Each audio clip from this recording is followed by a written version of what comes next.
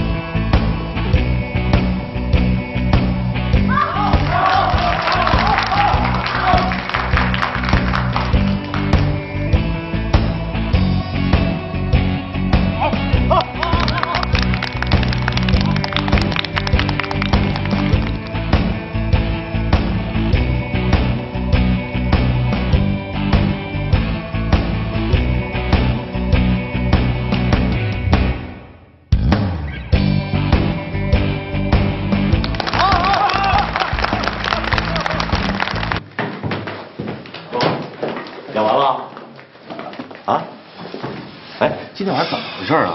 好几处出错啊！啊，都是老革命了，你不至于吧？你看见了吧？刚刚看见台下了吧？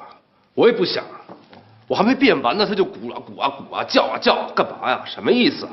我给你问了这事儿，台下的观众啊，都是你老婆的老乡，听说你今天晚上演出都是来给你捧场的。毛峰，现在的票房靠你了啊！谁叫他们来的？谁叫他们来的？我用得着他们给我捧场吗？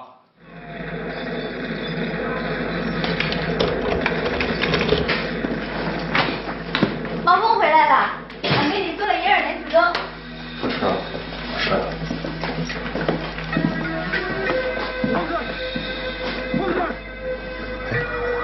他怎么了？谁是他的？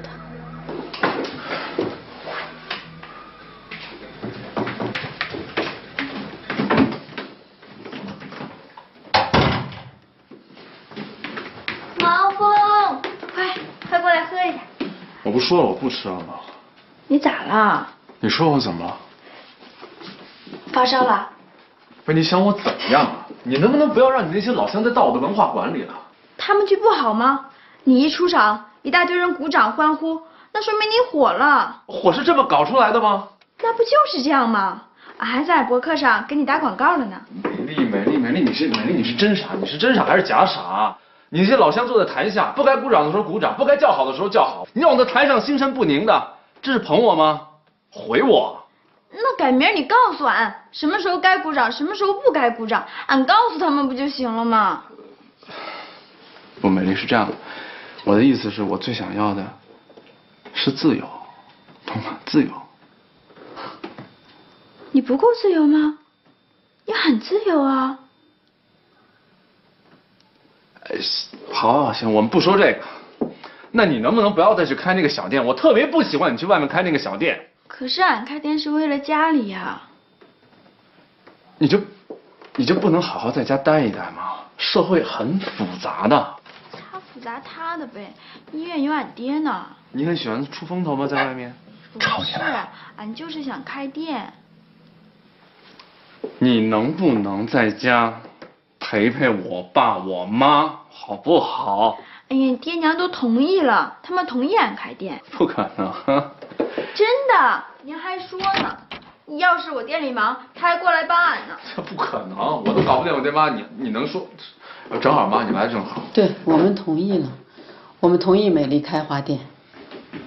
不会吧？老婆，你爸爸叫你，快去，去去去，不是，快去。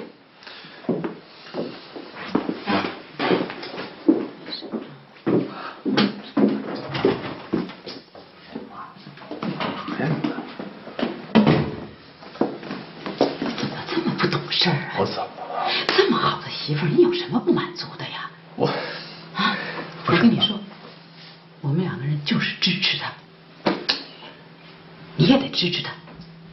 你们干嘛站在他的角度上想问题啊？不是帮你们做过饭，端过洗脚水吗？我问你，你给我们做过饭吗？你给我们端过洗脚水吗？爸，这样，妈，他要开店，一个好端端女孩子，你说变成一个老板娘，你们开心吗？谁来照顾你们？想过吗？你关心谁照顾我们吗？你什么时候关心过谁照顾我们呢？我跟你说，你只要不气我们，就算是照顾我们了。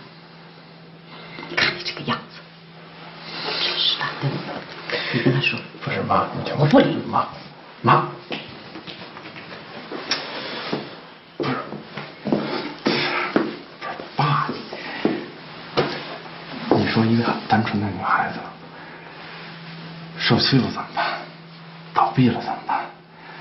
亏了钱是不是你们补？想过没有？老婆，你你这像男人说的话吗？美丽一五一十都跟我说了，这家店是人娘家出钱盘过来的，赚了是你们俩的，赔了人家娘家给担着，天底下你上哪儿找这么好的事儿去啊？你不得好好帮帮你媳妇儿啊？爸，爸，咱俩咱俩是一个一个 DNA 的好吗？你是我爸爸，你能不能站在我的立场上想想问题？可以吗，爸？毛峰，我跟你说啊，拢住一个家的，不光是血缘，更重要的是情分，是情分，懂吗？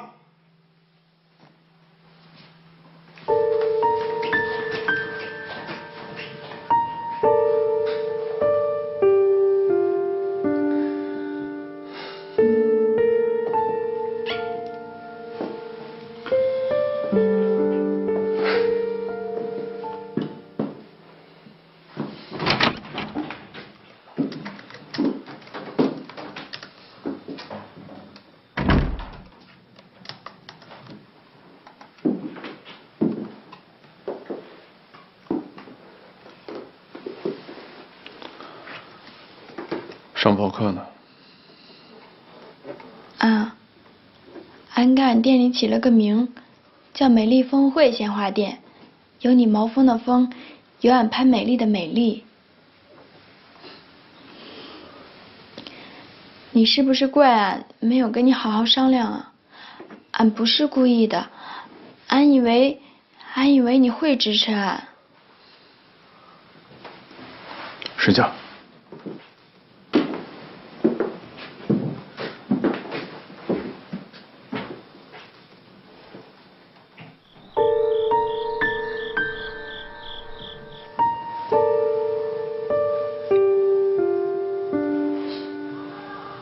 生气，美丽。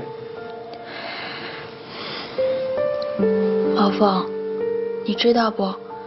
店里老板的名字是你的，充其量俺就是老板娘啊。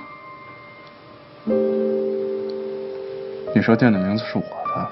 是啊，俺想得远，俺想着你以后不变魔术了，那这个小店还能养活咱们。你以为这么一个小店就能拴住我吗？嗯，不拴，俺没那么想。还有什么事儿吗？俺姐请了婚介所的江先生给俺弄个开业仪式，于卫姐夫也说了要带 DV 过来。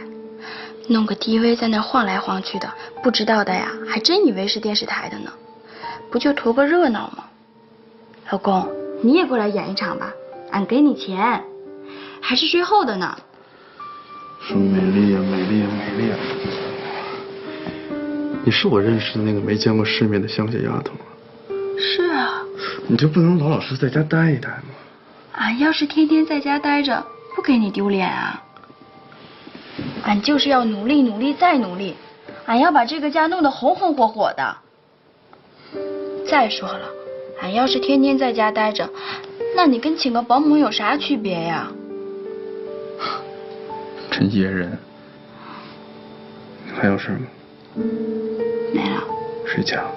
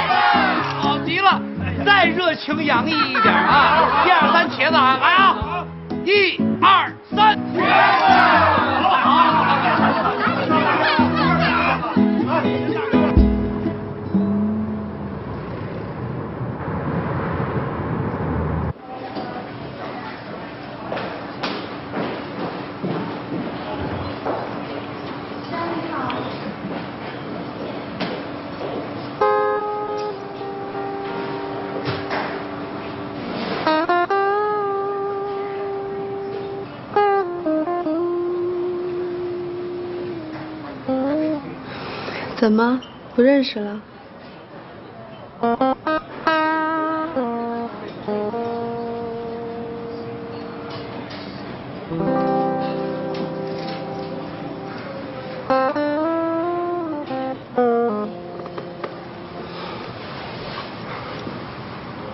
你怎么回来啊？想你了，不就回来了吗？我傻了吧，傻了吧，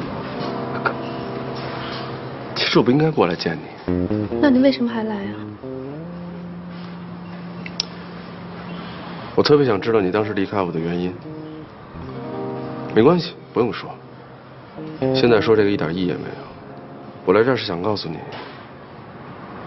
我结婚了，刚结的，很好，很幸福。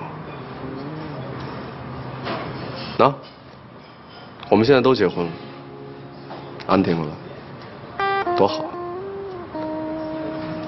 等你什么时候再走的时候，也告诉我一声。朋友一场嘛，我送送你。嫁个老外，搞个身份，挺好，也是一种活法。其实，祝你幸福，再见。我离婚了。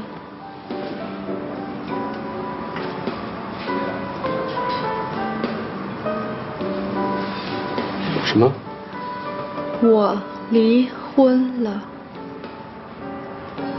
为什么呀？过不到一块儿呗。其实婚姻很简单，无非就是两个人能玩一起、吃一起、睡一起。老外多闷呢，根本就玩不到一块儿。星期天在家烧个菜，端到邻居家就当社交了，还得提前约。我们这儿多好啊，天天都是约会。你说吃吧，更别提了。偶尔啃个披萨、汉堡还凑合。你要说天天吃的话，猫粮、狗粮你见过吗？跟那差不多。睡呢？能睡到一块儿吗？算了，他身上那味儿啊，能把我熏死。我怎么能天天被熏呢？再说了，我语言又不行，离得他整个是一哑巴。跨国媳妇可真不是什么好当的。你要是没想明白啊，千万别糊里糊涂嫁个老外当老公，活受罪。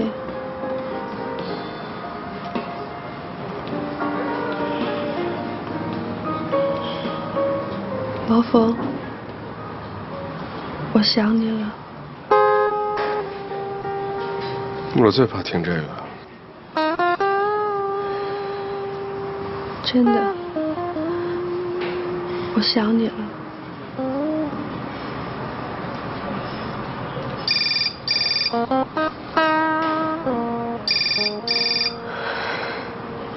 一定是你媳妇儿电话吧？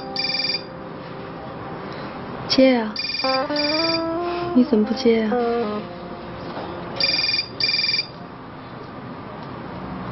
以后买花还来俺家啊！哎，好的，俺给你们打折。行行行，慢走啊！再走，慢走，慢走。哎，老公，哎，啊，快快快进屋！今天啊，来咱家的人可多了，可热闹了。真的，你咋没来呢？我演出。哦，快坐，快坐。哦，看你弄的花篮好看不？好看。生意好吗？好，可好了，俺这一会儿啊就卖了六个花篮了。啊，真的。真的，来这看病人的都是诚心实意的。俺花篮又便宜又好看，俺小的卖五十，大的卖七十。来这一看，这么好看的花篮，就买一个呗，顺手带着，放在病房里多好看啊，还是一份心意。老公，你还生俺气呢？没有，没有，没有，那你咋不高兴了呢？没有，不会。哎，姑娘，来你来你好，啥事儿啊哎，？姑娘，我跟你商量个事儿啊。你看这花篮吧，前天我朋友买一个送给我的。啊，你看我现在吧都出院了，我发现留着它也没什么大用了。您看您这回收嘛，然后我朋友买吧是五十，我再卖给你三十，您看怎么样？你这人咋这样呢？人家送你的花是一片心意，你咋还想卖给俺呢？这让人看见了，以为俺是啥人呢？呀，姑娘，你这您也太死心眼儿了吧？是不是？朋友的心意我是领了啊，但是您的钱你也得赚，是不是？你看你倒手一卖，立刻就赚二十。俺不干这事儿，行，您走吧，俺不做这生意。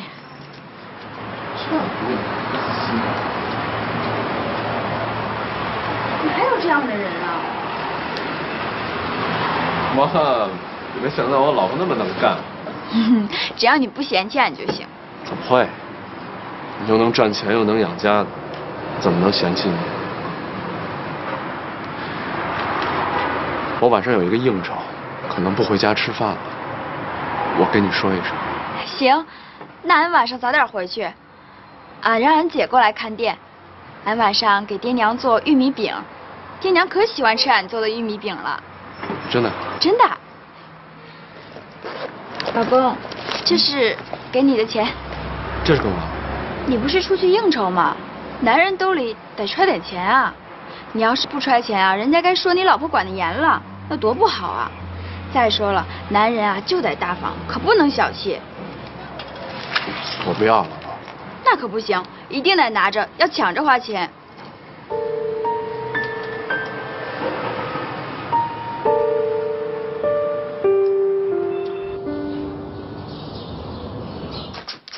妈妈这儿退休金呢，实在是不多。杨树那工资根本都不给我，你知道吗？他就叫饭钱，剩下都掖着。那妈妈要是有个呃人情啊，送个礼啊，怎么办呢？买贵的买不起呀、便宜的人看不上，所以你就自己包粽子送人。好聪明。你看包粽子这个吧，有讲究，先买糯米，糯米买过吗？买过，嗯，怎么买呀？拿钱买。可不是拿钱买吗？一回就买二两，买那么少啊？不能买多了。那买二两，妈妈人家卖给你吗？怎么不卖？你给人钱，人家就就卖。买二两拿回去先蒸，一蒸不粘，掺别的米不能要。你就这么跑两三家店，最后买了一看哪家一蒸就粘，这米又漂亮又紧实，就买他们家的。哦，把米泡上，泡上以后呢，买粽叶。会买粽叶吗？不会。粽叶呢，有软的，有硬的，哪个好啊？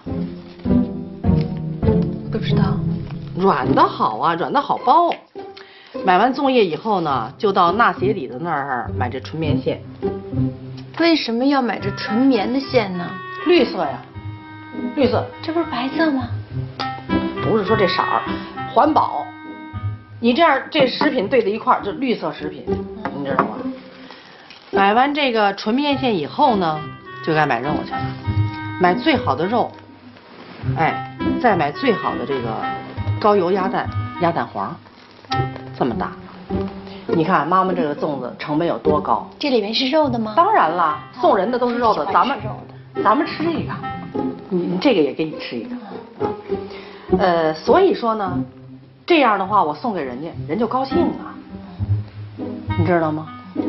跟我学啊！我啊，算了吧，妈，我太笨了，而且这么复杂，我肯定学不来。如果我要想吃粽子的话，我就上超市买十块钱三个，还是名牌。我多买一些，和于伟两个人想吃的时候，从冰箱里面一拿出来，微波炉一热就吃了，可方便了。你买的那粽子能跟我包的这个比啊？啊，你买一件毛衣，跟你亲手织一件毛衣送人的能一样吗？不，不一样。哎，不一样。呃，这个粽子，给你爸爸妈妈拿十个，再拿十个呢，呃，给杨叔看病的医生，还有买十个呢，再拿十个给我单位老领导，就行了。所以说，豆豆，你得学，啊。你别什么活都让于卫干，你让他干，他现在什么都不说。将来万一碰着一个能干的、贤惠的，跑了他就……我我说这话意思你明白吗？明白，就是要我如何不让第三者插足。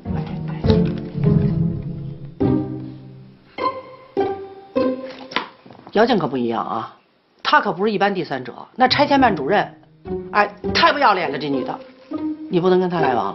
你要跟他来往，你就是支持第三者了。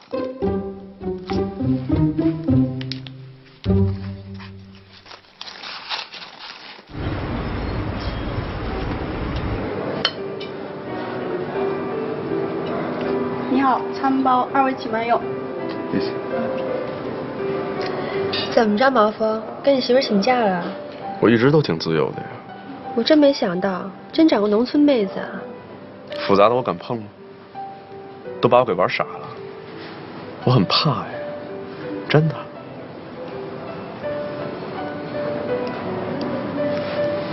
荣姐，你知道吗？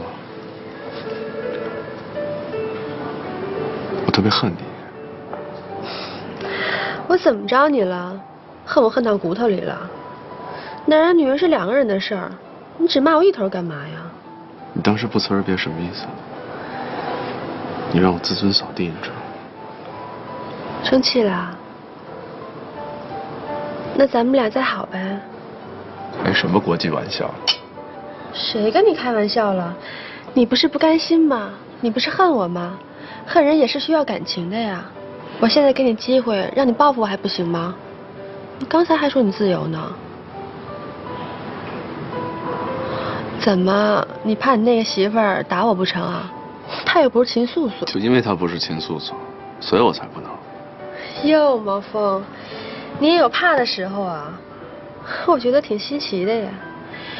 你不敢，我敢呢，我就追你到底了，我就赖着你了，我就想跟你好。那这话你说说也就罢了，我当我没有听见，开个玩笑而已。毛峰，我这次是真的。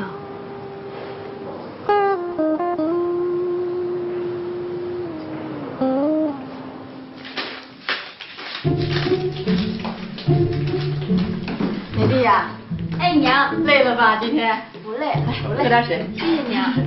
这是干嘛呢？娘，你猜今天赚了多少钱？头一天就赚钱了？可不，俺今天赚了两千块钱。行啊！哎呦，哎，那你赚的这个钱是那个净赚的还是营业额呀？营业额，俺营业额赚了两千。妈，我都想好了，咱明天啊吃大龙虾，明儿一早你就去买。好，我说美丽啊，这挣钱是好事儿，不过也别高兴太早了。今天来好多人啊，全都是捧场的，呃，这数不太准。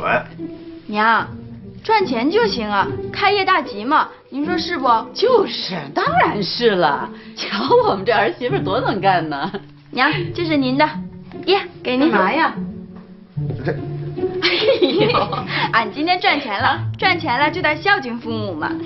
好，好，好，那行了，拿一百，对对对，一下就可以了。啊。哎呀，你看这是儿媳妇孝敬的，比咱儿子强。那可不是嘛。哎呀，娘，哎呀，怎么了又？俺锅里还炖着给毛峰的宵夜呢。哎呀，我我说，哎，这毛峰怎么还没回来？哦，他外面有应酬，男人嘛，早回家该让人笑话了。俺懂，俺懂。瞧瞧这孩子多懂事儿，还给咱俩一人一百块钱，多明事理呀！明儿拿去买烟抽去。什么呀？你就知道抽烟。人孩子给咱们这钱，咱们得给他攒起来，到时候还得还给人家呢。小辈儿有礼，咱们老辈儿得有节。行行。这毛峰是哈，怎么还不回来呀？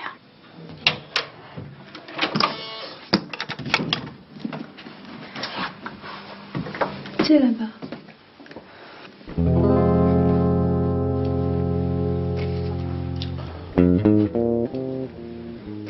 方便吗？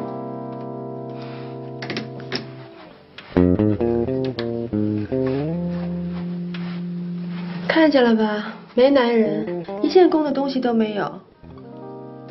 进来吧。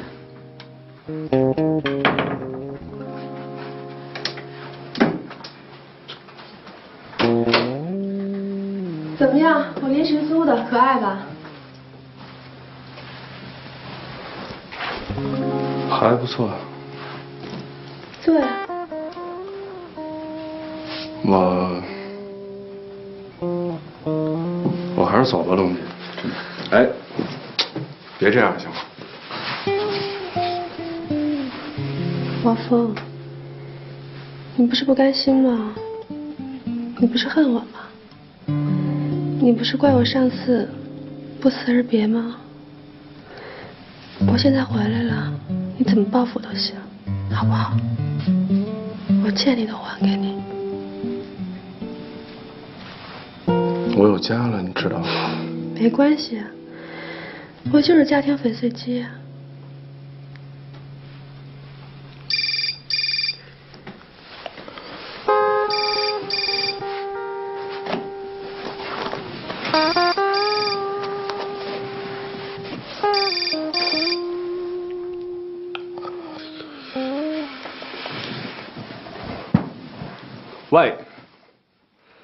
我知道，知道，知道，马上回去啊。嗯，好，好，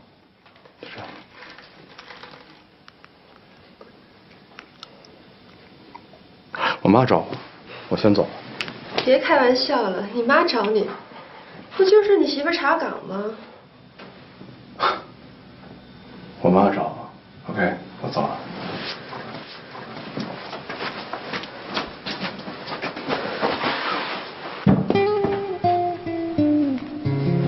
别这样好吗？王峰，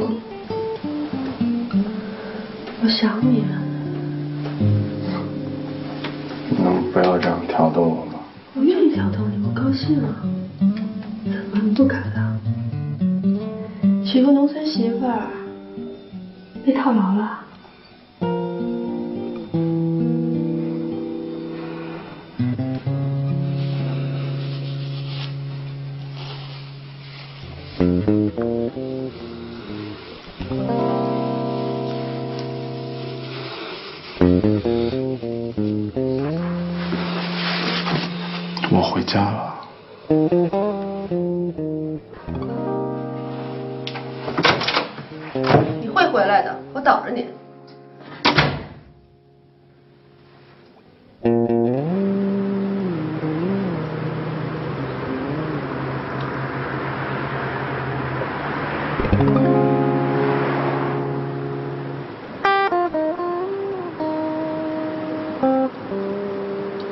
Mm.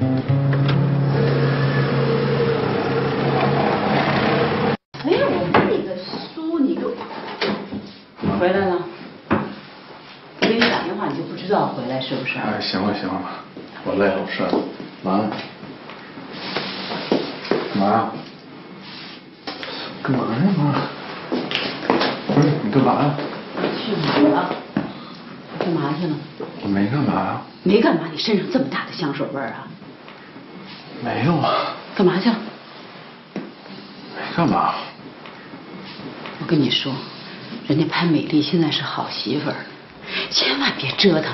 行，知道，行。你要是再整那些花花事儿，你看我不打折你的腿。要打什么腿呀？再犯事儿了直接把他轰出家门去，当我白养这么一个儿子。你烦不烦？你不是行行行行行，别说他，快看你媳妇儿去吧，快点。你知道人家给咱们这家挣钱呢，小店又是小店是吧？你别看不上。来干嘛呀妈？你要干嘛？媳妇儿要闻见就麻烦了。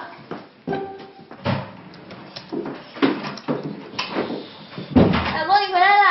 哦，回来了。干嘛？写博客呢，俺要把俺今天开店的事啊，全写在博客上。闻他身上全都是香水味儿。一撅屁股我就知道要干什么，是不是在外边有画画上是不是这个基因有什么问题啊？你看我讲话多老实一人呢，人都说养儿子像妈。气的，像你，讨厌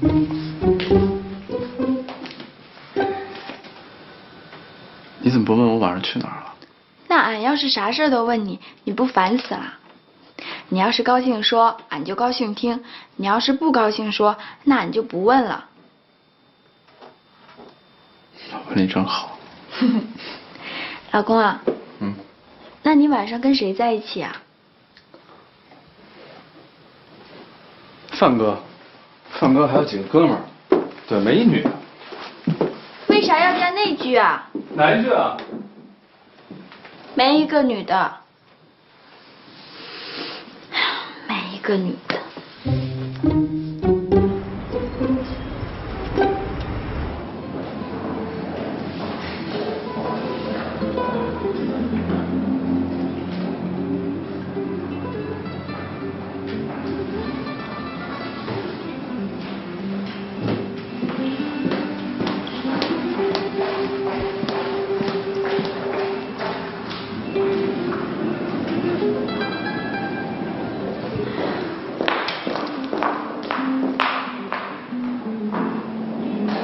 是这样的，他们大厦货梯啊，要白天搬的话，咱们就尽量把货梯给占了。我刚才跟他们大厦物业商量好了，嗯，他们建议咱们搬家的时间呢，最好是在晚上七点钟以后。张秘书，这事我就不管了，你把它办好就行。好，好吗？好，没问题。哎，李总，李总，电梯来了。你先去。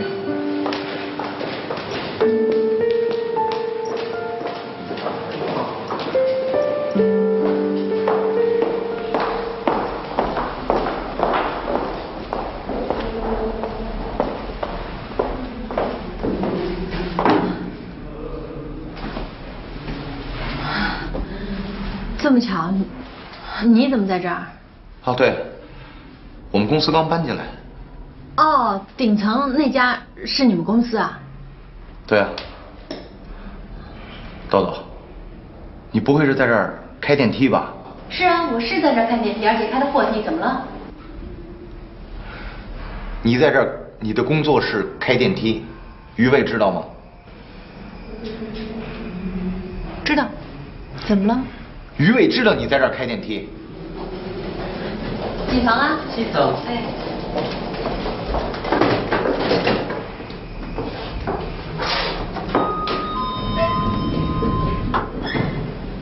哎，你有没有听说过咱们顶层搬一大公司？关键是里面老板巨有钱，还是钻石王老五媳的呢。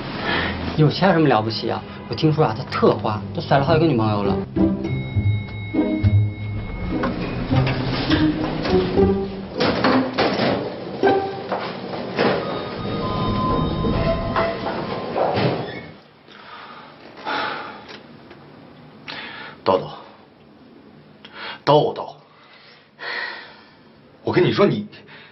什么工作？这是啊？这是什么乱七八糟工作？你怎么能干这个呢？我为什么不能干？这，豆豆，咱这么着好吧？咱不干了，好吧？我去跟你们那个经，咱都不用跟那经理说，这是什么狗屁工作？听我，什么干什么呀？什么就不干了？你想干嘛？你为什么总要来干预我的生活呢？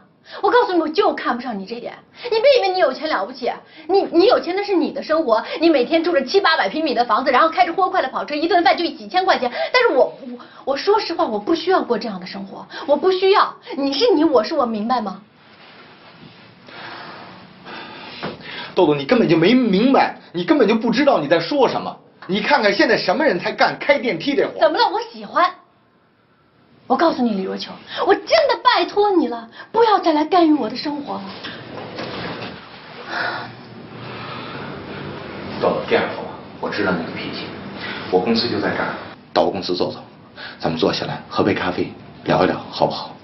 对不起，我在上班呢。那下了班以后呢？于飞要来接我。我说豆豆，你你为什么总是对我这样？我是真心的想帮你的，豆豆。不好意思，有人叫我，麻烦您出去吧。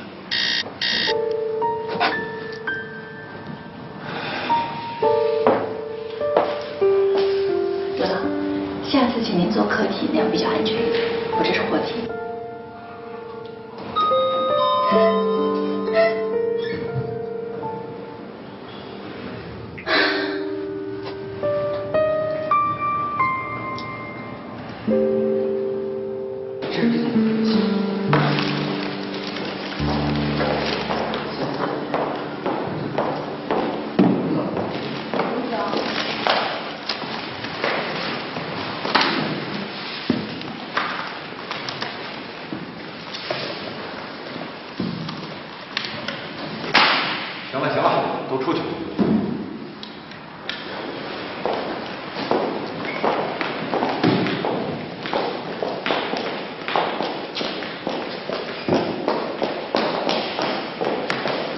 你怎么还在这儿？移动这个文件。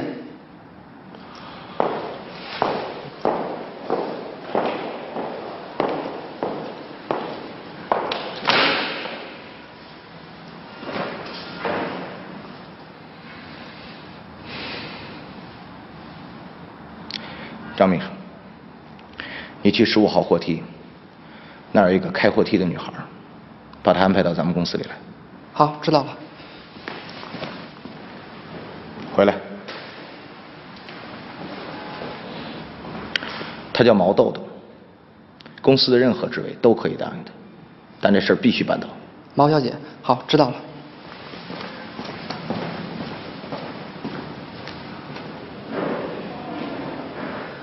真的，你真从他眼睛里看着心疼了。